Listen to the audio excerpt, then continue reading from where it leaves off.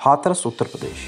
पिछले महीने एक युवती से बर्बर तरीके से गैंगरेप और हत्या के बाद पिछले कुछ दिनों से चर्चा में रहे हाथरस में एक बार फिर ग्रामीणों का उबाल देखने को मिला है। एक नाबालिग बच्ची की रेप के बाद मौत हो जाने से नाराज़ ग्रामीणों और परिजनों ने मंगलवार 6 अक्टूबर को पुलिस नाकामी के खिलाफ विरोध प्रदर्शन कर सड़क जाम कर दिया। आरोप है कि नाबालिग के मौसेरे भाई ने ही उसके साथ रेप किया। रेप के पंद्रह दिनों बाद बच्ची की दिल्ली के सफदरजंग अस्पताल में सोमवार 5 अक्टूबर को मौत हो गई। हाथरस के नए एसपी विनीत जायसवाल ने बताया कि पीड़ित बच्ची अपने मामा के पास अलीगढ़ में रहती थी, लेकिन उसका परिवार हाथरस में ही रहता था।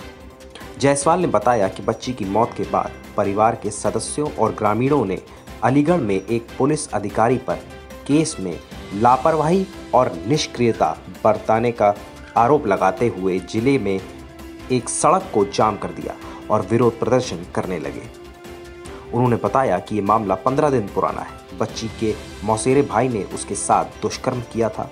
उन्होंने कहा, आरोपी भी नाबालिग है और मानसिक रूप से बीमार है। स्थानीय थाने में एक एफआईआर दर्ज की गई है। इसके बाद आरोपी लड़के को हिरासत में लेकर जुवेनाइल कोर्ट में पेश किया गया है।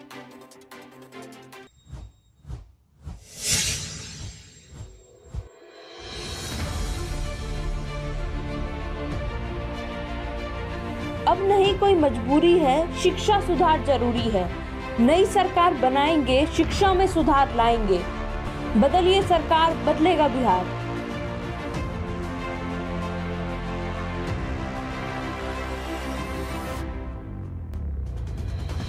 मेरी पहली प्राथमिकता, शिक्षा में सुधार और रोज़गार। बदलिए सरकार, बदलेगा बिहार। एक मेहनार विधानसभा से रालोसपा उम्मीदवार त्रिवेणी कुमार चौधरी को पंखे पर बटन दबाकर भारी से भारी मतों से विजयी बनाए।